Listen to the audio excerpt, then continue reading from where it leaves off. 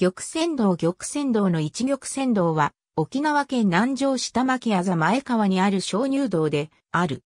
1967年3月、愛媛大学学術探検部が調査を行った結果、初めてその全容が明らかにされた。1972年4月に株式会社ナントによって観光用として公開された。現在は沖縄ワールド文化王国、玉泉道の一施設となっている。かつては、上川釜と呼ばれていたが、1972年に玉泉道の名で、玉泉道文化村の一施設である観光道としてオープン。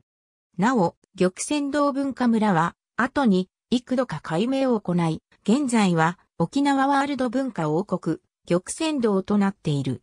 港川へと流れ出るオス、氷川の河谷の東側、地下30メートルに水流があり、これが洞窟内を流れている。上流では、湯日川から流れ込み、下流では再びこの川に流れいる。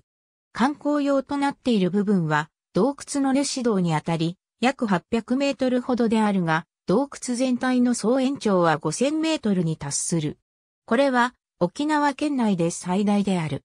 無数の大石順が林立する大広間、東洋一道の奥に位置する白銀のロケットのような石柱は有名。道内に水が豊富で二次生成物も豊富である。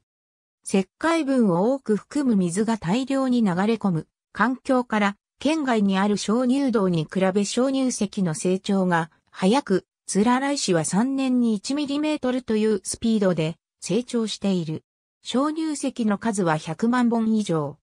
旧入道口のトンネル上海岸は道内の一定した温度条件を利用した古種の亀の貯蔵場所として利用されている。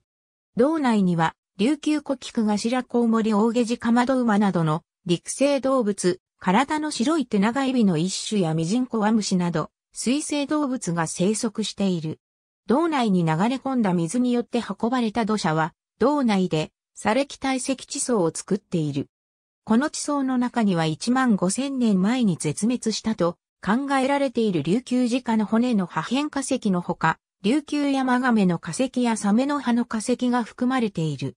海の生物の化石は別の地層から分離し水で道内に流されてきたものが堆積したものと考えられている。玉泉道のすぐ近くには、チンチン道と万万道がある。木崎田編集 P100。ありがとうございます。